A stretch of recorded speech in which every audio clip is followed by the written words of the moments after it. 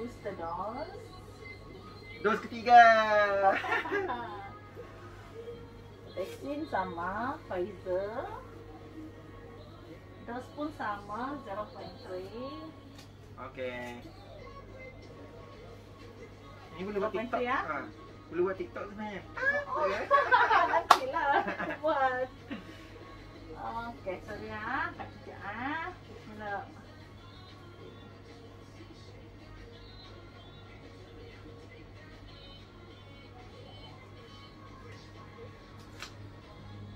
Okey. Sudah. Okey, terima kasih Kak. Kamu. Boost complete. Thank you.